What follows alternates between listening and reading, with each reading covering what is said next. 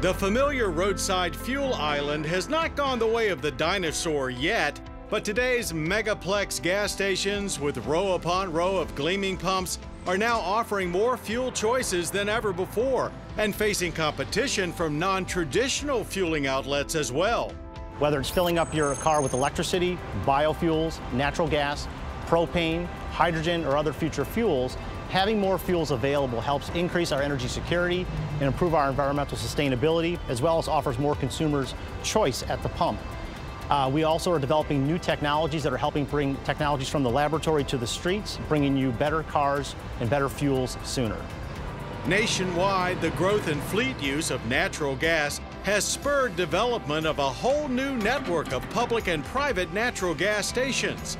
AT&T, for instance, now operates more than 8,000 CNG vehicles and has committed to having 15,000 alt-fuel vehicles in its fleet by 2018. Ryder Trucks has surpassed 30 million miles of CNG usage in their medium and heavy duty trucks, and natural gas fuels one in five transit buses in our major cities.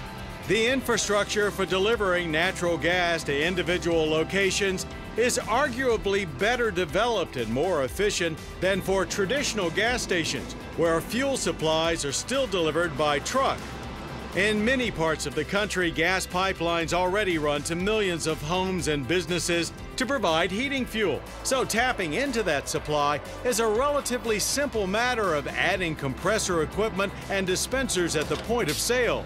Clean Energy Corporation has made a big splash in natural gas in recent years, focusing on fleets and long haul trucking, and over 500 of their familiar lime green station canopies have cropped up at airports and industrial centers nationwide. Midwest regional convenience store chain Kwik Trip offers natural gas at more than 30 of its stores in Wisconsin, Iowa, and Minnesota. And at their home location in La Crosse, Wisconsin, they offer CNG, LNG, and propane fuel, in addition to a full slate of biodiesel blends and traditional petroleum fuels. Talk about one stop shopping. Natural gas is, uh, is probably our premier alternative fuel that we're, we're promoting currently, uh, but wanted to be relevant in all of the fuels that were available today so that we had a good understanding of, of how those fuels may or may not fit into the different marketplace so that we were ready to react uh, if need be given, given a change in uh, customer demand. Mirroring the rapid growth of natural gas outlets is America's electric vehicle charging infrastructure. But in this case, the fuel comes to where the cars are.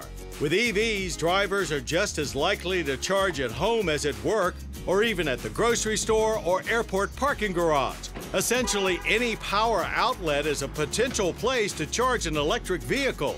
But unlike traditional gas stations, profit is not the prime focus. While there are fee based charging networks, many locations still offer free charging as perks to entice customers or simply engender goodwill. EV car maker Tesla has spent millions setting up a network of free superchargers with locations from coast to coast that allow its customers to gain up to 175 miles of driving range in as little as 30 minutes. There's really no telling what the fueling station of the future will finally look like, but as America's push for clean driving solutions continues to advance the development of new fuels and power technologies, the act of refueling and where we do it will surely evolve as well.